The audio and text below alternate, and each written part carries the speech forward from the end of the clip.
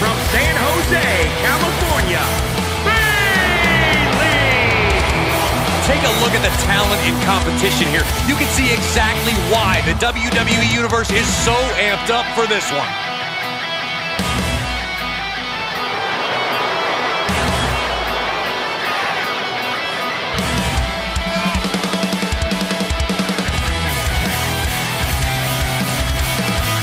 She knows tonight is going to be a big challenge, but if anyone is up for it, it's this woman.